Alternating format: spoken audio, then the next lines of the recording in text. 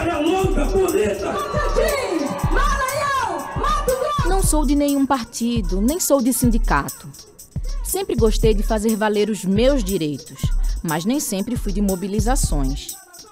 Demorei um certo tempo para me envolver com a política, para gostar de política. Mas quando me dei conta de que era preciso organizar para mudar, nunca mais fui a mesma.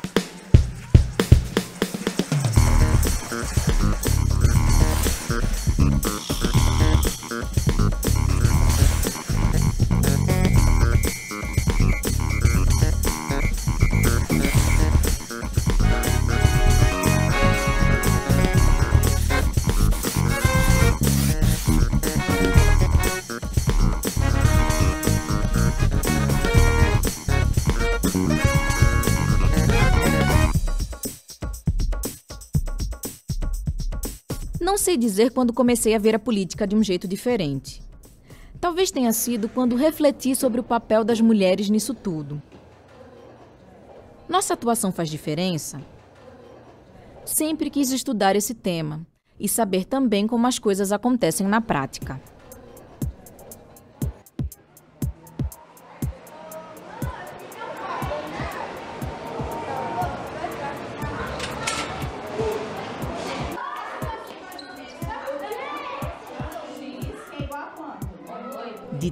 Repetir que não gostamos de política, nem percebemos o quanto ela está presente nas nossas vidas. Desde a infância, lá na escola, quando escolhemos representantes de turma. Nessa época, as meninas costumam ser bem ativas. A gente queria fazer uma observação que a gente acha que poderia. Mas quando a política vira jogo de adultos, aí os homens tomam a frente.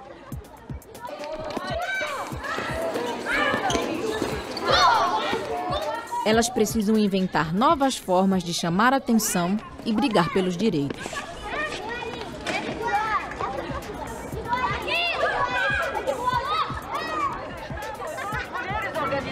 estamos discutindo sobre, sobre isso aqui, ó. Isso aqui que todo mundo conhece, não é? Olha aí.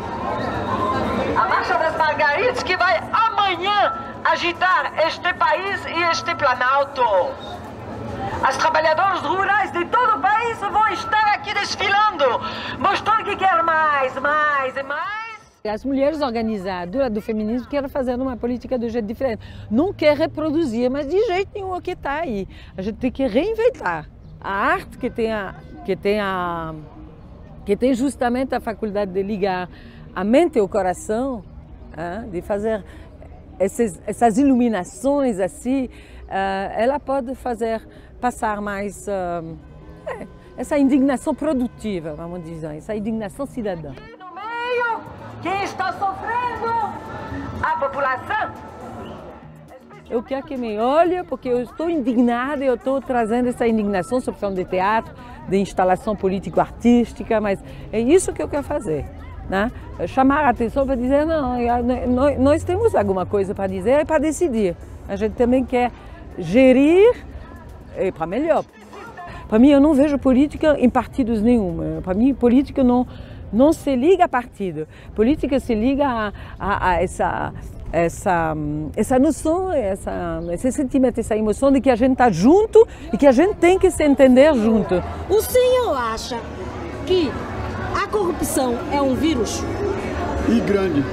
Nós não podemos assim achar que chegamos a um lugar de negociação que não é verdade. Então, temos que continuar a criar e a arrebentar o Planalto. Com o feminismo, eu descobri a intuição. Me dei conta das diversidades e das opressões vividas pelas mulheres. São todas diferentes, muito diferentes. Urbanas, mestiças, ricas, nordestinas, empresárias, operárias, donas de casa. Cada uma vive os preconceitos conforme a sua realidade.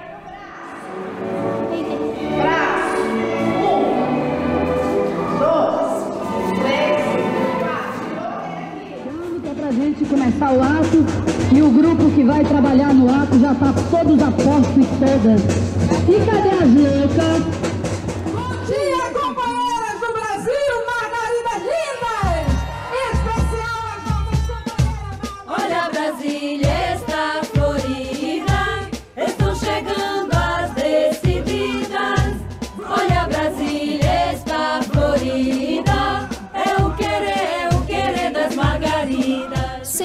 Vivi no centro urbano, mas não foi difícil entender as mulheres rurais.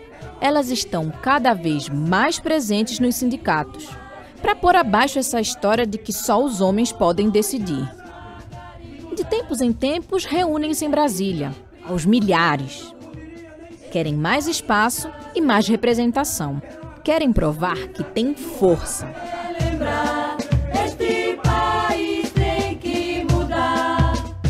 Nosso projeto político de Brasil, de nação, é fazer com que as mulheres também assumam o poder.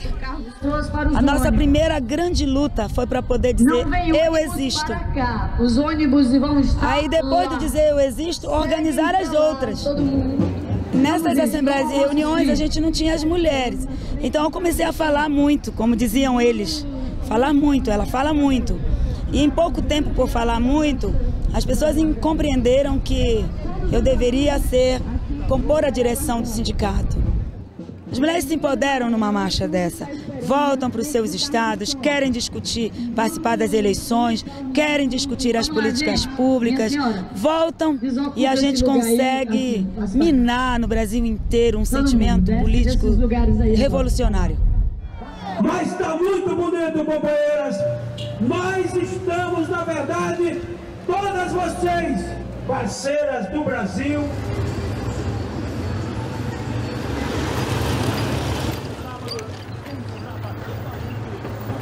São da vida, são da fé. Coragem, né? São da vida, são da fé. Vida, são da fé. As da fé, da vida, são da fé. São da vida, são da fé. São da vida, são da fé. São da vida, são da fé. Gente é pobre, pobre não tem terra não, né? É só essas farelinhas de terra aproveitando, mas dá resultado. Se trabalhar, dá resultado, né? A vida do certo não é dura. Se a pessoa pegar tudo que tem e acabar, vai sofrer mais na frente. Nós não temos apoio de ninguém. Os governantes não dão apoio a nós de nada. De jeito. O sindicato, eu sempre tenho dito, parabenizo o sindicato, que é o único órgão pobre que está ajudando os trabalhadores. Da maneira que pode. Não pode dar mão, que não pode, né? Mas está ajudando. E se não fosse elas lá, né, as mulheres dentro do sindicato, o que, que era da gente? Certo que os outros são muito bons, mas que as mulheres dão mais apoio a gente, né? Em todo, em todo sentido, elas não apoiam a gente. Porque nós só se aposenta, sai de dentro do sindicato.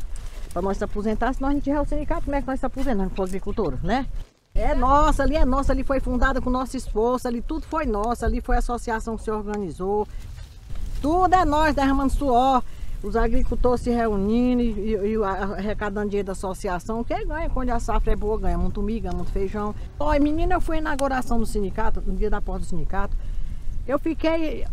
Ah, se fosse um começo do Lula, não tinha o tanto de gente que tinha no sindicato. O pessoal estão se mobilizando, estão aprendendo, viu? Estão aprendendo a dar valor à categoria dele, né?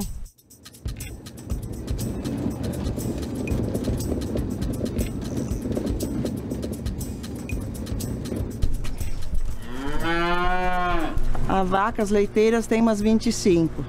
E eh, aí temos terneiras e novilhas que a gente também cria e vende quando, quando alguém procura, né?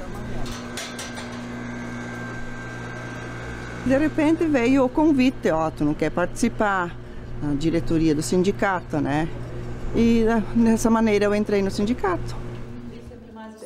As mulheres se, se movimentam bastante, elas têm que trabalhar o dobro para poder participar disso, né?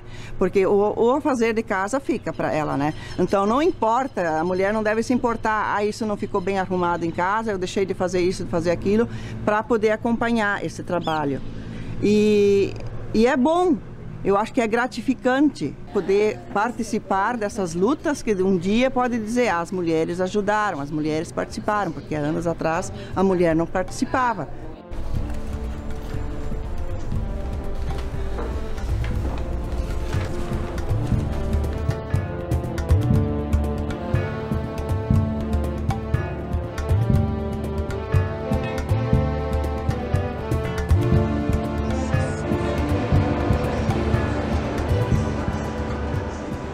Jeito que eu percebi as diferenças entre as pessoas, me dei conta também das diferentes formas de organização política.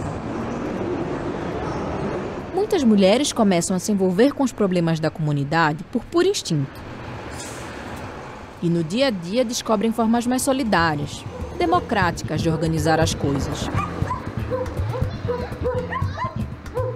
Bom, a Vila Nossa Senhora Aparecida ela tem em torno de 30 anos e as condições muito que tinha eram as condições que os, os próprios moradores podiam dar. Então, o saneamento básico, ele existia, mas de uma forma muito precária, porque cada um colocava os canos conforme tinha condições. Mas tudo nela mudou com o orçamento participativo. Isso é um jeito de fazer política que é legal, porque você sente ele no dia a dia que vai mudando as condições de vida. A presença maior é das mulheres. Exatamente porque é, as mulheres que vi, convivem o dia inteiro com essas condições, as consequências de não ter essas necessidades básicas, elas caem sobretudo nos filhos, que as mulheres têm uma ligação muito mais forte, né? Eu sempre tive muito uma esperança de fazer política sem necessariamente é, isso estar vinculado a um partido político ou a algum mandato. E o orçamento participativo foi exatamente essa experiência de, de comunidade, de a gente poder é, decidir o que, que, deve ser feito com o dinheiro público, o dinheiro que ele é realmente, que vem desse, dessa mesma população através dos seus impostos. Os sapatinhos foi decidido na Assembleia que era para todo mundo fazer. Eu não sei como é que a gente vai resolver isso, né? Então a proposta será o seguinte: nós vamos fazer esses que estão aí e vamos encerrar o sapatinho com a Linda, por causa que se for para meia dúzia fazer e as outras não fazerem, então a gente encerra, aí termina e não faz mais. Se nós é uma cooperativa, todas têm que fazer. Fica assim? Fica assim? Alguém tem alguma ideia contrária? Se a gente conseguiu mudar toda a nossa vila, se a gente se juntar, a gente pode mudar também a questão do trabalho. E aí nós nos juntamos, várias mulheres, começamos a pensar que a gente podia estar trabalhando junto, costurando junto e dar uma resposta à situação do trabalho essa realização também como, como mulheres que conseguem olhar um todo de uma sociedade.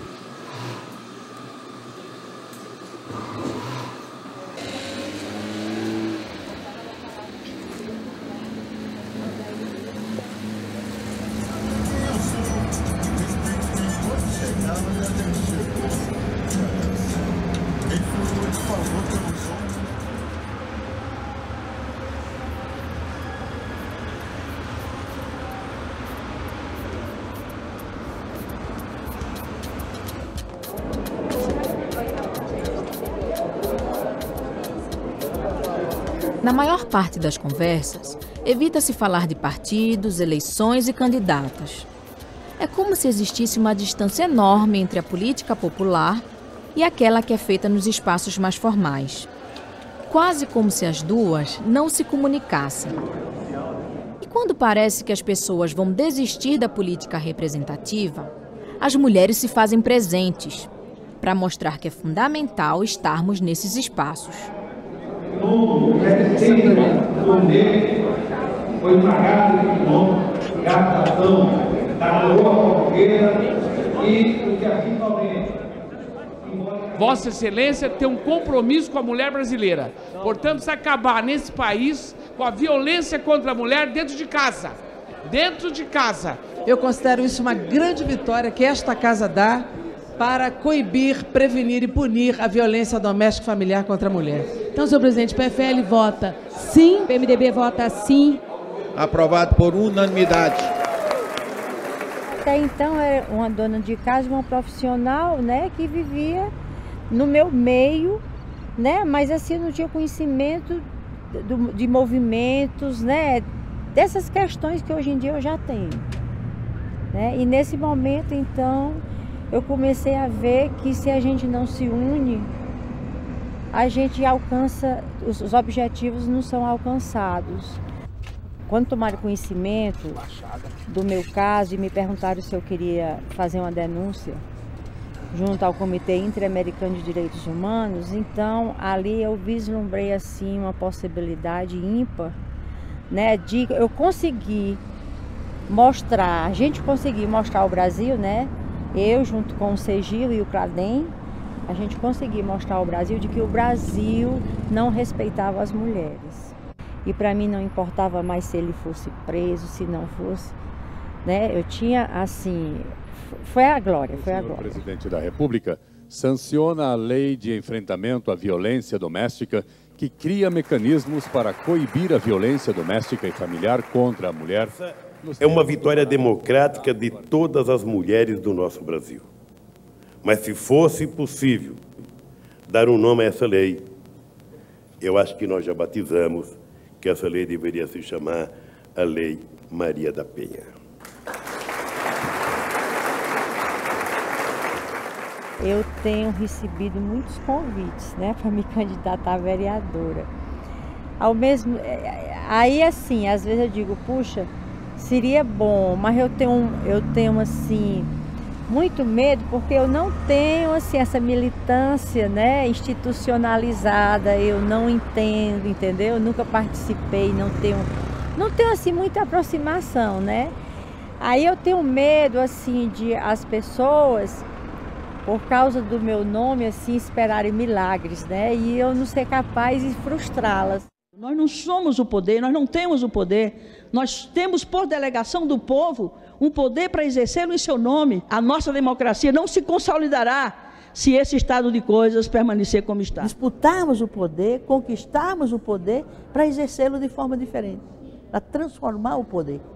Ou nós fazemos a diferença, ou nós terminamos contribuindo e fortalecendo essa prática patriarcal, machista, é, da forma de, de, de exercer o poder nesse país. E temos que fazer a diferença ao sermos fiéis a nós mesmas, as nossas características, nosso modo de ser, as nossas origens. Eles não acham que nós somos é, discriminadas, nós somos desigualmente tratadas, porque eles não avaliam que, a, que o fato de uma mulher ser, conseguir ser prefeita de uma importante cidade é uma exceção à regra, não é a regra. E confirma a regra. Toda exceção confirma a regra a democracia representativa não se consolida, ela está em crise, entre outras razões. É absolutamente ver, indispensável para a nossa sobrevivência política nesses espaços, nós estamos articuladas e convergindo naquilo que é preciso convergir, apesar das divergências ideológicas, partidárias, etc. Mas é insuficiente, nós não conseguimos ainda uma unidade de atuação. Né? uma solidariedade de gênero aqui dentro. E nós temos a tarefa também, como educadoras, como pedagogas, internas às nossas bancadas, internas aos nossos partidos, e fazendo essa luta, né?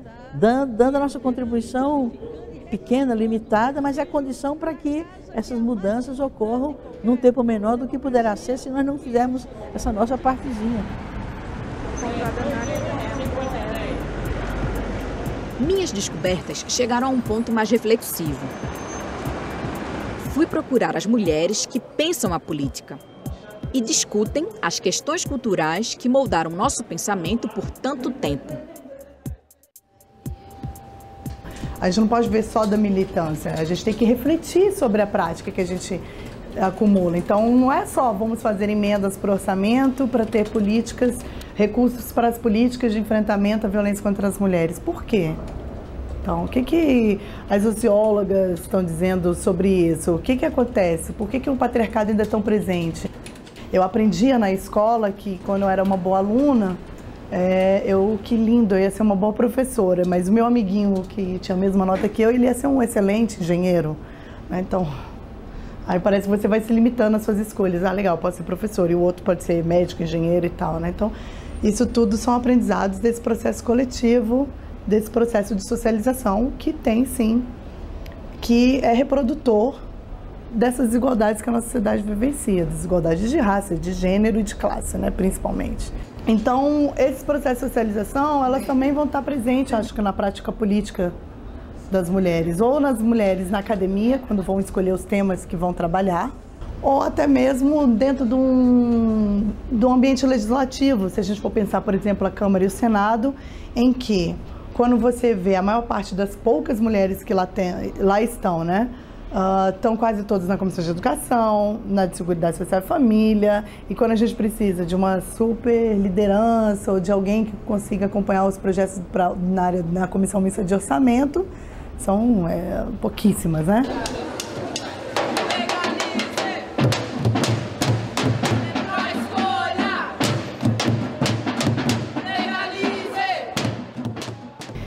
Se é muito caro, você precisa de recursos para conseguir se candidatar, é, e recursos privados que tornam as campanhas ainda mais altas, então só as mulheres que conseguem é, acionar esses recursos também que vão ser as eleitas, né? E basta ver que você já tem uma diferença forte lá dentro.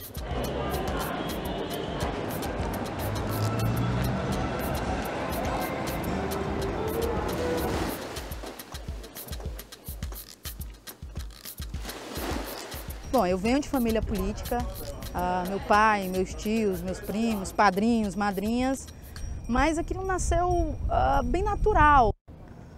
Desde criança eu sonhava ser política. Brincava de comício na sala de aula, na hora do recreio, sonhava ser presidente do Brasil.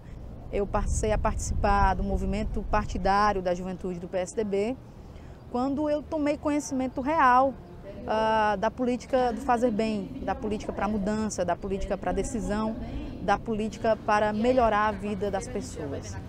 O jovem não está ali apenas para fazer o auê, para fazer o grito, mas para fazer-se de uma bandeira fixa de representatividade em todos os seus momentos. O jovem que além de sonhar, ele está para concretizar. Tudo aquilo que você faz quando você gosta, você faz bem e eu tenho uma credibilidade de poder contribuir com a melhoria do meu país, com a melhoria do meu estado, com a melhoria do meu município. O pessoal usa até assim.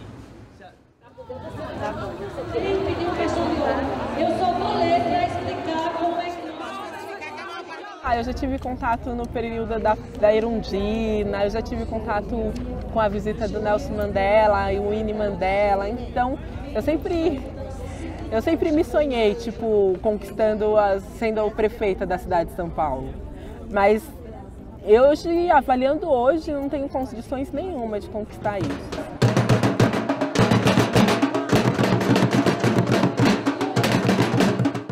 Nós não temos dúvidas de que é fundamental que a gente esteja nos espaços de decisão, nos espaços de gestão e monitoramento de todos esses processos das políticas públicas. Eu não sou lésbica, mas eu entendo muito bem o que, que elas estão é, exigindo. Eu, eu, procuro entender quais são as dificuldades, eu procuro entender o que, que elas sentem e o que, que elas passam. Eu procuro sair do meu lugar para conhecer e volto para o meu lugar pensando, ah, realmente eu fiz isso. Somente nós que vamos poder resolver esse problema, esse quadro de desigualdade. Eu não, eu não tenho como chegar, chamar os orixás para vir aqui. Orixá, veja bem, nós não temos condições de resolver isso. Ai, sei lá, Jesus, vem cá. Eu não sei fazer isso. Não é, somos nós. Reconhecendo as nossas fraquezas e as nossas qualidades, nós poderemos avançar.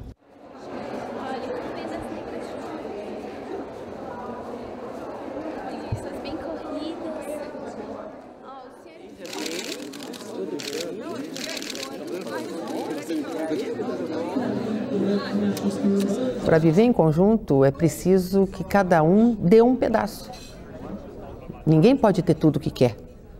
Então, a arte de você compatibilizar pessoas diferentes para viverem juntos é isso que é política.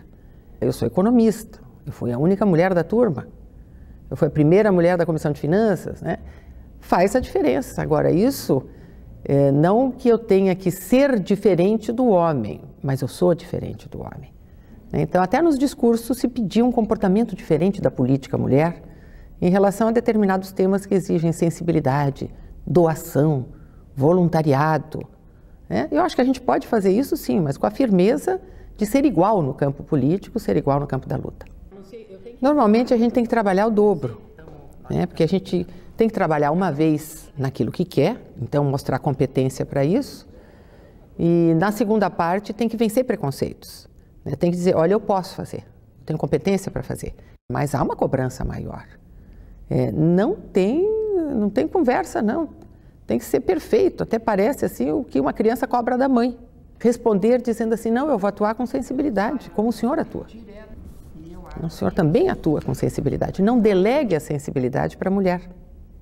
Atue com sensibilidade também, que nós vamos chegar a um ponto comum é, melhor nas relações entre as pessoas. Olha, eu entrei nesse caminho através da organização comunitária, morando na favela, sem água, sem luz, sem oportunidade de trabalho, sem escolaridade, senti que precisava estar organizada. E aí, então, nesse movimento dos favelados, eu iniciei a minha vida. Eu fui convidada pela comunidade, muito mais do que escolhida pelo partido, convidada pela comunidade para representá-la. Então isso me levou à Constituinte. Do presidente Ulisses Nós mulheres tínhamos a bancada do batom. Essa bancada do batom não concordava com tudo, mas usávamos a solidariedade em plenário. A atuação das mulheres nesta casa foi de tal teor que, pela edificante força do exemplo, aumentará a representação feminina nas futuras eleições.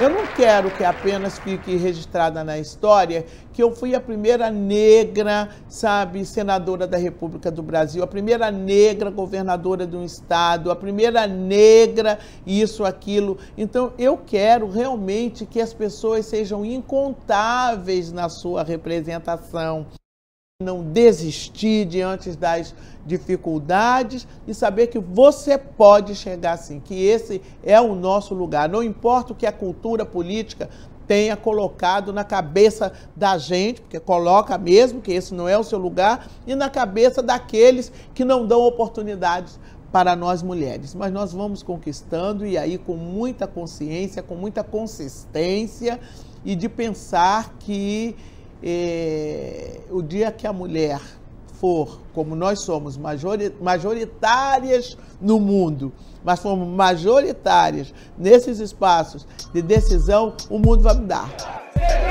Meu pensar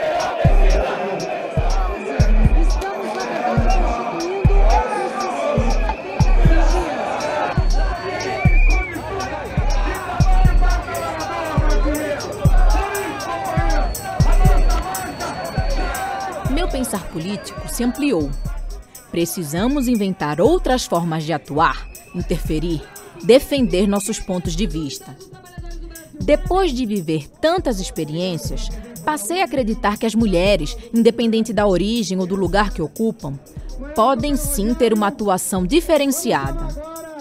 Elas não lutam por lugares privilegiados, querem oportunidades iguais. Lutam para que a gente não se surpreenda quando uma grande ideia ou uma decisão importante partir de uma mulher.